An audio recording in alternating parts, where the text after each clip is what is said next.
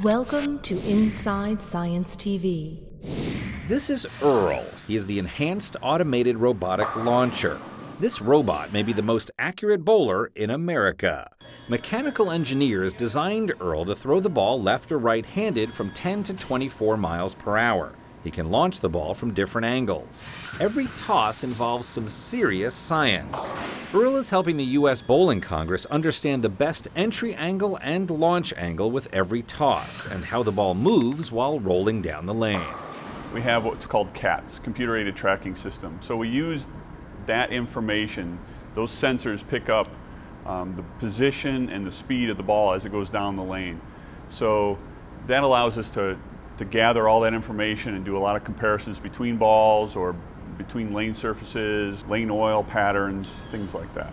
Researchers are using Earl to learn more about lane surfaces and the dynamics of the ball while in motion. That could lead to better coaching and higher scores for future bowlers.